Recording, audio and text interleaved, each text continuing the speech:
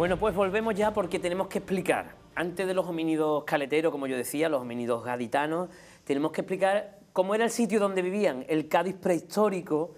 ¿eh? Por favor, al que haya imaginado enseguida un dinosaurio, que apague la tele y se vaya, ¿eh? No. un mamut, bueno, un elefante sí, ya sabemos ciervo, vamos a situarnos por ahí. Pero claro, la formación de estas islas donde estamos, sabemos que el Guadalete estaba, el Guadalete estaba, pero no es el Guadalete que hoy conocemos, ¿no? Era, un, era poderoso, ¿no? Claro, tenía mucha más agua porque aquí no hacía tanto frío. Mamut en concreto en la provincia de Cádiz, no. elefante sí, elefante sí, porque no hacía tanto frío. Era interglaciar, ¿no? Exactamente. Eh, mientras que en, Alemania, en Francia sí que había eh, hielo y había época de grandes glaciaciones, aquí lo que es subía el nivel del mar por la, por la cantidad de agua que caía. Cuando esa bajada, cuando dejaba el agua arrastraba este material y cuando arrastraba el material desde el Guadalete, desde la sierra hasta aquí, era el material que utilizaban para, y formaban montañas de sedimentos, ¿no? Y además eso se ha corroborado porque Salvador Domínguez, el geólogo de la Universidad de Cádiz, nos hizo el estudio de las láminas delgadas para la tesina y después se ha puesto en la exposición. Entonces yo siempre decía, ¿cómo puede ser que estas piezas de la caleta sean las mismas que eh, la materia prima eh, se mira en la litoteca. Que está allá arriba. Exactamente, que vienen de la Sierra de Ronda y de la Sierra de Grazalema. porque ha venido rodando por el río. Exactamente. El homínido se la ha encontrado aquí y la ha tallado. Eso es, así de... Mm. Pero es, curioso decir cómo ha llegado desde la Sierra de Ronda hasta la Caleta. Claro, pero primero el Guadalete ha empujado mucha tierra para abajo. Claro. Ha formado unas montañas. Y cuando el mar ha bajado un poco, bueno, se han quedado estas cúpulas que digamos que son estas islas, ¿no? Que serían las islas de Cádiz, incluso San Fernando, Santipetri, nos quedaríamos ahí. Y claro, es aquí eh, cuando se van a formar estas terrazas y eh, van a llegar, eh, bueno, pues vamos a decir que va a dejar una huella en Cádiz que va a ser el canal, ¿no? Si es que se van a quedar las islas, pero ese resto de Guadalete antiguo, paleocauce que se llame cauce antiguo, se va a quedar en, medio de Cádiz. Claro, se queda conformando la división de las dos islas, la paleoantigua, la, Paleápolis, la Neápolis, ¿no? la Eritrea y Cotinusa, y, ya es a, mitad de época romana cuando ya se hace un tapón en la zona central y ya se va colmatando toda la ciudad. Y viene en tu libro, que también viene mucho, pero en tu libro viene muy bien explicado como una, unos 11 datos que se han tomado a lo largo del canal, de hecho el número 11 es de ella, que es el mejor, el último. Bueno, del año 2002 que yo hice el libro, ahora... Del año 2002, ahora hay muchas ahora más es muchas más, exactamente, hay muchas, más, tomas, hay muchos estudios, pero bueno, del año 2002 hay 11 tomas del canal Vaya Caleta, que claro, eh, nos habla de la profundidad y grandeza, ¿no? que no era un canalillo chiquitito, bueno, ya en época medieval y romana sí, pero que tenía su importancia. Por ejemplo, voy a leer algunos, eh, porque mira, el director del museo, Juan Ramón Ramírez, en el 82 eh, nos amplía, es cuando dice la teoría ¿no? Eh, ya completa del canal, y en el muelle ciudad hay una profundidad de 25 metros hasta tocar roca. O sea, para que veamos la profundidad que tenía el río. En el Fénix 20 metros, en el Arco del Pópulo aparece un poco de agua, la Catedral Nueva cuando se hizo tuvo problemas en los cimientos, eran pistas que nos, que nos estaba dando. El Teatro Andalucía, con el segamiento de época romana, pero también eh, en donde estaba Simago, para que usted me entienda, no voy a decir la marca hoy día, eh, cuando se abrió aquello, eh, el constructor ¿no? decía que abajo había como una orilla de un río, una gravera, veía piedras e incluso cerámica rojiza. Digo, madre mía, ¿no podría haber cogido algo? Ese era el, que estaba al lado del Simago antiguo, era el primer solar que yo hice como arqueóloga. ¿Y en el año 97 apareció material prehistórico y aparecía material romano muy rodado. O sea, de haber estado al borde, exactamente, haber estado al borde del canal. Primero dulce y luego salada, ¿no? Con la invasión del mar. Luego, bueno, pues seguiríamos para adelante. Eh, en la calle de la Cruz con el Regimiento de Infantería y Abreu, toda esa zona, hablan de una plataforma rocosa que baja en ladera, ah, como una, como una terraza, digamos, que bajaría hacia lo que es el canal. Pero fíjate, ahora me estoy dando yo cuenta, cuando tú lo estás diciendo, que es cerca de la zona donde Darío Bernal ha excavado y ha encontrado el testáceo, el, monte de... El monte que nos vamos acercando hacia la caleta. Eh, eh, cuando se hizo el parking del Campo del Sur, que se encontraron aljibes y tal, pero bueno. Y en tu excavación, de, como tú decías, al lado de lo que era Simago, pues encontrabas también filita sílex y cuarzo. O sea, son materiales eh, pétreos que aquí no hay. ni de broma. Y todo esto viene eh, por el Amazon de la época, que era un río que te lo traía. No había otra manera, ¿no? Pues sí. Eh, así que esto, este es el Cádiz de la época. Nos vamos a encontrar con un río que cruza, con dos montículos y el Guadalete que desemboca ahí en la caleta. Y claro, van a estar aquí unos señores, y ahora sí que vamos a hablar de nuestros primeros gaditanos, que no sabían ni que eran gaditanos, los pobres. Eh, no sabían, creo yo, ni, bueno, ni de dónde salían. Y claro, nos vamos a hablar del Homo erectus, del hombre de Neandertal, que yo creo que es el más interesante porque no descendemos de él, es otra especie humana, incluso ahora se descubrió otra más, ¿no? Sí, el, el ergaste, ¿no? Lo tenemos por aquí. Eh, y el, el sonensis, ¿no? Algo así, y ya van varias. O sea, que no son eh, descendientes, o sea, no descendemos de ellos. El Neandertal cogió por otro camino, pero eran nuestros primos segundos, hay que decirlo. Y, y, luego está el sapiens sapiens, que somos nosotros. Eso seguro que estamos. Sí, lo que pasa es que nosotros a los neandertales, de hecho yo tengo un artículo publicado que se llama Los neandertales, los grandes marginados de la evolución humana. Está publicado en Rampas y es porque es verdad, los neandertales han sido como siempre, eso, hemos llegado nosotros, los hábiles, los erectus, controlaron el fuego, ya se asentaron. Somos estupendos. ¿eh? Nosotros somos ya lo más, pero los, los neandertales eran como los grandes marginados y siempre han sido además, de hecho, eh, ha sido un insulto. Cuando tú le querías insultar a alguien, decía, parece un neandertal. Hubo de los hombres de Neandertal, hola, ¿qué tal? Que iban un poco de también de tonticos, así. Pero es verdad que los neandertales, ahora, como decíamos también fuera de cámara, mientras que cuando yo estudié, todo esto es un constante avance. O sea, las fechas, por ejemplo, a mí por eso no me gusta el tema de las fechas, porque las fechas que hoy se dicen como tal, neandertal de tal a tal año, mm, pasado mañana hay otro yacimiento que lo cambian. De hecho, te he de confesar que cuando estaba haciendo el guion me encontraba en cada página, en cada libro, una fecha totalmente diferente. Digo, ¿y yo a quién le pregunto? ¿Qué hago? ¿Qué hago? Digo, pongo el nombre y al lado un paréntesis y muchas interrogaciones.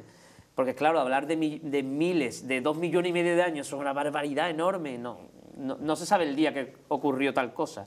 Más son procesos que se van dando, ¿no? Pero claro, el hombre de Neandertal... Eh, siempre se le ha tenido eso aparte, pero ahora últimamente está como muy avanzada la investigación, ¿no? Porque además se han encontrado restos, como yo te decía, que mientras que cuando yo estudié, cuando estudiamos nosotros la carrera, aunque tú eres mucho más joven que yo, eh, los neandertales pues mm, no hacían arte, ¿no? Hasta que no llegó el sapiens sapiens, no estaban las cuevas, hasta que no llegó el sapiens sapiens, no se hacían los adornos. Ahora ya el profesor José Ramos en, en Ardales, hace cuatro o cinco años, ha encontrado arte por parte de los neandertales, la cueva pintada, ha encontrado objetos eh, de arte, eso ya significa que tú para hacer ese eh, objeto tienes que tener una idea del más allá. Y muy en paralelo con nosotros, ¿no? Exactamente. Con nosotros, Y de hecho en algunos ah, sitios se habla de hibridaciones entre sapiens y neandertales, aunque no dieron lugar, pero sí que en algunos sitios ya se han encontrado yacimientos. Yo llegué a leer ayer, eh, he leído las tantas ya, que incluso el neandertal copiaba al sapiens la técnica, que él no lograba quizás imaginar, pero que sí copiaba y la elaboraba y tenía cuentas de collar, etcétera, y tenían rituales, ¿no? Pero que todo eso cuando hace 20 años no, no, era. Eso es como, por eso te digo, como el tema de la fecha. Es normal que cuando llega alguien que no está especializado en el tema y se va a mirar las fechas, tú dices, pero si es que hay 8.000 años de diferencia entre esta bibliografía y esta, entonces esos son los márgenes de... Claro. Van cambiando de totalmente. neandertal ¿Era igual que pues nosotros eran, eran un poquito más, bajos, eran un poco más, pero también por la forma, en, el, sitio donde vivían. Vivían generalmente en zonas con más frío o con más lluvia. Decían que eran pues la cabeza más agachada, el, el, arco prominente, la, la nariz diferentes rasgos, pero bueno, que lo que decíamos, que algunos con barba y bigote, eh, sí, sí, Stringer y Clive Phelan, hay muchas, hay algunos que, que, tienen hasta dibujos de neardentales de recreaciones con un, con un gorro, no me acuerdo exactamente quién fue, pero eh, con un gorro sentado en el metro de, de Londres era, y bueno, y parecía Sí, sí, yo, he estado, yo he estado viendo porque iba a ser un cartel del programa de hoy y puse eh, reconstrucción hombre neandertal y aparecían fotos de personas de hoy también. y decías tu madre mía, pero si es igual que la estatua que han hecho en el Museo de Londres, ¿no? Bueno, pero ahí estaban. Bueno, pues estos hombres de Neandertal, que además leí que pronunciaban, sí sabían hablar, pero con diferente a nosotros, con tres vocales, eh, que tenían su evolución paralela a la nuestra, con los cuales conviviríamos también, estos señores estarían en la caleta. Y estamos hablando, y esto entre comillas, ¿eh? ¿Eh? que estaría, bueno, pues eh, en unas fechas, la tengo por aquí, que entre los 110.000 y 30.000 años, más o menos, que hubo un momento en que desaparecen, que ahora es la pelea que hay, ¿no?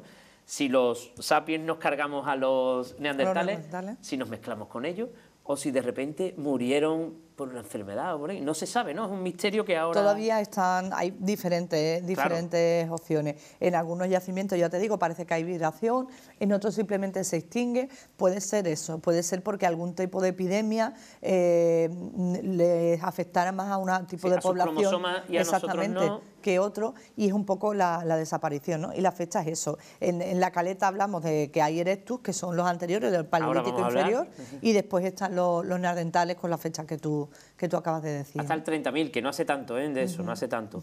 Y nos vamos a ir mucho más atrás, mucho más atrás. Quizás otros vinieron, no tenemos sus huellas, no lo podemos asegurar, pero hablamos del Erectus. Ya el propio nombre, claro, nos lo dice. Uno de los primeros que... Que se mantenía erguido. Que se mantenía erguido. Eh, esto me recuerda que yo tengo el niño muy pequeño y ya, bueno, ya corre que se las pela, pero al principio cuesta y eso es un milagro, una evolución natural increíble el ya no andar a cuatro patas, sino eh, erigirse que servía más como defensa, ¿no?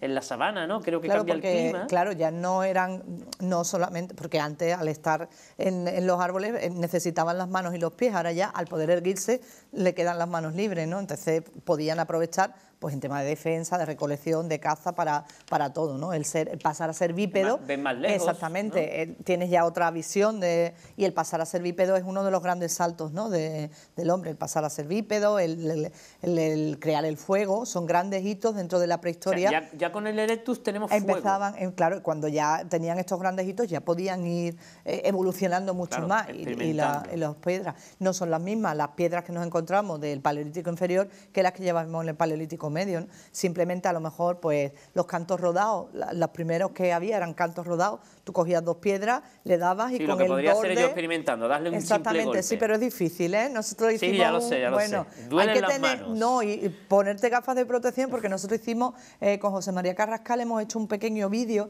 eh, que dura dos minutos para la exposición del Museo de Cádiz y ahí se ve cómo es la recreación de la lítica experimental y simplemente el, el hacer un canto tallado, un chopper tool, un chopping, como decíamos, y extraer ese filo cortante es difícil. Ya cuando vas a hacer un o una pieza más pequeña con unos retoques importantes, ya no te cuento, vamos. Bueno, si quieren saber un poquito más, que les he preparado yo un pequeño documento, un pequeño vídeo para ver estos homínidos gaditanos, pues nada, lo ven un par de minutos y enseguida volvemos y seguimos hablando de esto. Todo lo que vemos hoy alrededor nuestra ha cambiado debido a factores naturales o por acción del hombre y entre nuestro paisaje, el de la caleta, también ha sufrido una gran evolución a lo largo de su historia. Este lugar será elegido hace miles y miles de años, durante el Paleolítico, por grupos de cazadores y recolectores, para crear sus instrumentos de trabajo y para obtener sus alimentos.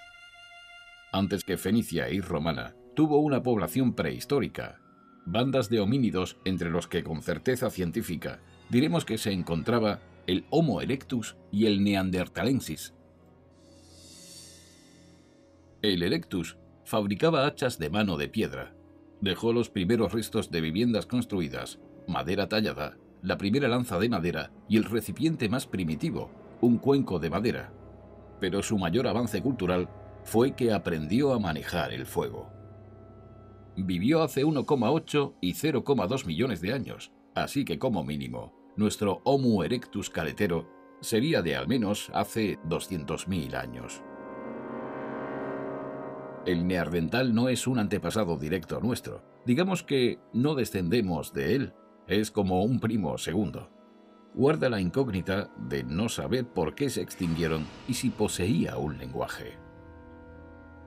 Eran más bajos que nosotros, pero tenían una musculatura extremadamente fuerte en vez de utilizar un tipo de herramientas multipropósito, crearon diferentes tipos de herramientas según la necesidad, expertos en usar la piel de animales muertos y convertirla en cuero. También manejaban el uso del fuego, que probablemente podían crear por sus propios medios. Debemos desterrar la idea acerca de primitivismo de los neandertales. Probablemente no tenían las mismas habilidades cognitivas que nosotros, ni se representaban al mundo de la misma manera, pero sin duda pudieron arreglárselas perfectamente, al menos hasta que llegamos nosotros y causamos probablemente su extinción. Nuestro neandertal viñero disfrutó de las mejores puestas de sol al menos hasta hace 40.000 años, que es cuando se extinguió. Ahora los sapiens preparamos otras herramientas y viandas para disfrutar de un lugar tan encantador y antiguo como es la playa de la Caleta.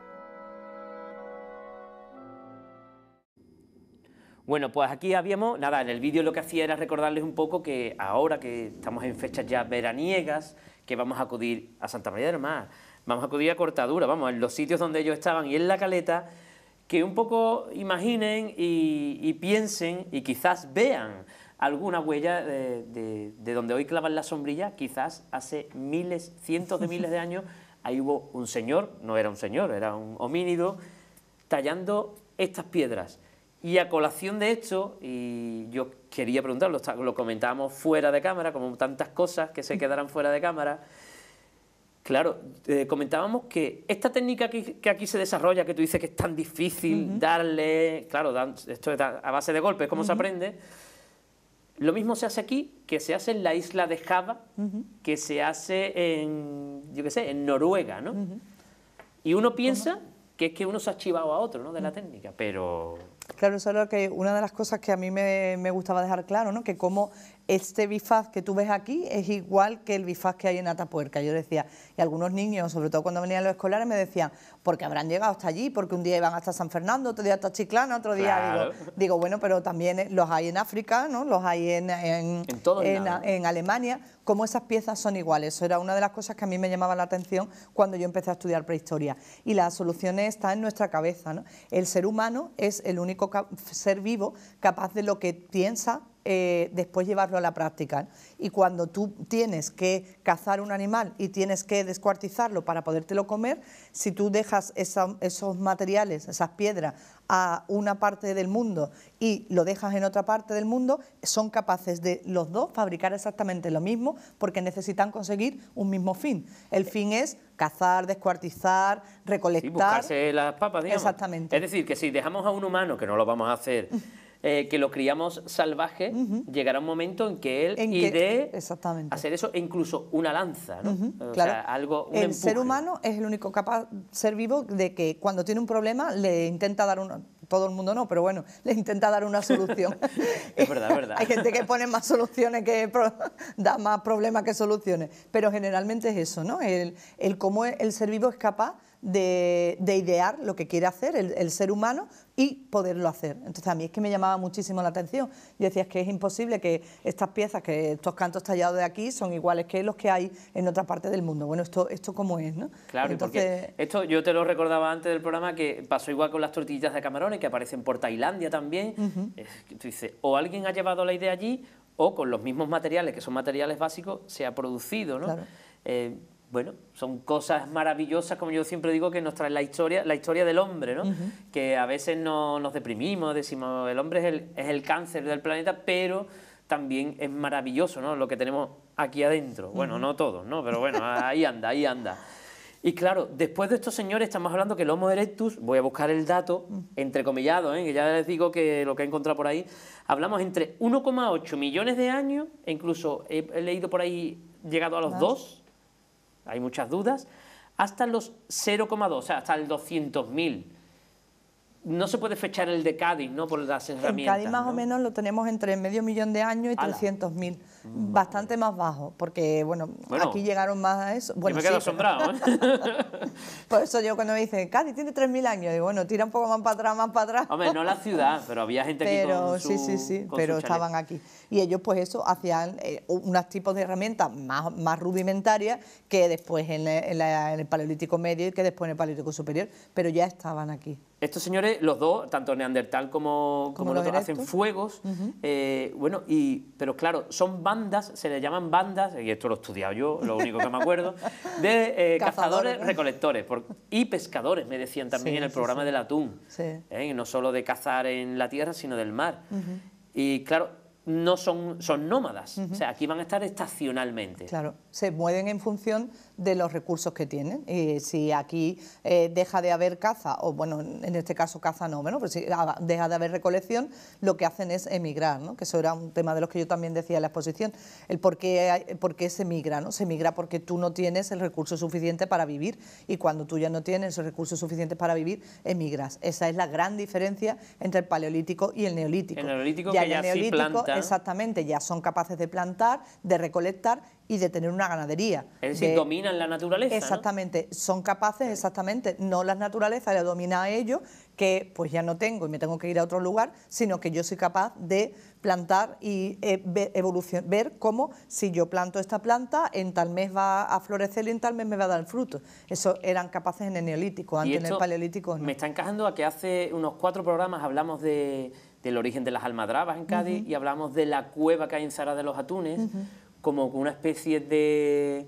no, oráculo, es decir, como una especie de calendario solar que indicaba la observación de cuando venían las orcas, venían los atunes y siempre era la misma fecha y el mismo periodo de tiempo. Entonces, claro, la observación del hombre eh, hace dominar... Y eso era mucho más que la que tenemos hoy en día.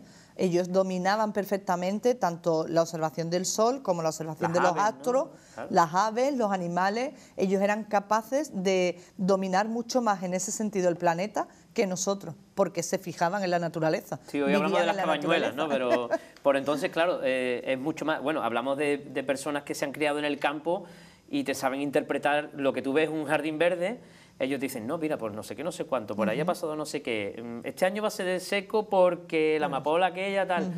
Es interpretar todo lo que ven todos los días, ¿no? Y, pero, mm, claro, yo cuando iba leyendo todo tu libro digo, y nada más que esta, no nos ha quedado huellas de otro homínido, nada, ¿no? No. Porque una vez apareció una mandíbula, ¿no? Dicen sí, parece Víctor Molina, decía Vicente Molina, eh, en el 1922 decía que había aparecido una, mandíbula, pero de esa ¿no? hay no hay confirmación. Se saben restos, se sabe por textos, pero no en el museo no ha habido nada. ¿Y restos óseos en Cádiz capital? Nada. ¿Y en la provincia? de paleolítico no. Eh, de Paleolítico en Cádiz capital no ha aparecido nada. También, ¿qué pasa? Que no es que no haya, es que a lo mejor no se ha encontrado. claro, eso tenemos siempre la esperanza. Exactamente, no, porque me pasa a mí, yo como arqueóloga muchas veces digo, he llegado aquí hasta el solar, que vaya bajado un metro y medio, metro y medio, no hay nada, tres metros, lleva aljibe, no, no hay nada. Pero no es que no hay nada, porque ahí está. O sea, eh, Gadir el yacimiento de Gadir está a 8 metros bajo tierra. los habitáculos, esa, ciudad fenicia no está solo ahí, estará en el solar de al lado y en el de al lado y en el de al lado. ¿Qué pasa? que no hay suficiente economía, desgraciadamente, como para apuntalar lo que costó eh, económicamente el yacimiento de Gadir. Por eso yo creo que es una de las cosas más importantes que tenemos en la ciudad, uno de los yacimientos más importantes, porque se invirtió muchísimo dinero en sacarlo. Entonces, si invirtiéramos mucho dinero en excavar el resto de la ciudad así, pues evidentemente, igual que yo estoy convencida que el anfiteatro romano está ahí, lo que hay que encontrarlo. Claro. A suficiente profundidad como para encontrarlo. Está todo, todo, ahí queda mucho. Fija, con lo pequeña que es Cádiz, porque es una migaja comparado con otros grandes terrenos, y como dicen unos amigos, la lasaña ¿no? que tenemos de capas y capas y capas de historia, incluso no capas porque ya les digo que si van este verano a la caleta, eh, cuando baje la marea, esas graveras de piedra, quizás ustedes no lo sepan identificar o crean que algo es inútil. Para eso contamos con los prehistoriadores que tienen un ojo clínico para ver lo que sí fue tallado por la, por la mano de, de estos homínidos. Pero claro, yo te pregunto, yo ya inexperto total, las herramientas del Erectus serían mucho más básicas que la del Neandertal, ¿no? Sería una piedra con un par de cascamazos. esa era justo. Con una raíz para arañar. Justo para, sí, pero cortaban bastante. Lo que son los cantos tallados, simplemente eh, tallaban por un borde o por los dos y sacaban el filo. Esos serían fundamentalmente de, de los Erectus. O bien también los bifaces, pero de gran tamaño, los triedros, que son formatos, te hablamos, las que había en el Museo de Cádiz, son un formato grande. Mientras que ya vas al musteriense y ya te encuentras las raideras que son pequeñitas, tienen retoque no solo de golpes directamente, sino que utilizaban mm, asta, exactamente, mm, o, eh, hueso, asta, eh, madera, para hacer ya los retoques y poder eh, darle las formas a la redera para poder recolectar, por ejemplo, los cereales, bueno, los cereales en todo caso no, los vegetales, los, cereales fue después. Antes de ir a una pregunta, los 500 sílex, sí, 500 sílex que aparecieron estos que este hombre descubre, pertenecerían a, no, a qué época o a qué homínido? Estos serían, fundamentalmente eran más bien de los neandertales, más o menos la mayoría de esos eran del Paleolítico Medio, pero también hay algunos, en, los recortes de prensa aparece, estos de gran formato, fíjate cómo se ve en la mano, eh, que se ve el bifaz, en la mano, eso es un triedro, es decir, es una piedra que está tallada por las tres caras, que sirve para machacar, para batir, y, los siles, por ejemplo, los bifaces, yo digo, los bifaces son como, como la navaja que usaban nuestros abuelos. para todo. Que exactamente, con el bifaz hacían de todo, pues Ese, era ese tipo de, material. Bueno, si quieren ver algo de esto, ya la exposición no está. Yo voto aquí al museo porque la traigo otra vez, un poquito diferente si quiere. Las piedras de Santa María del Mar se podría llamar.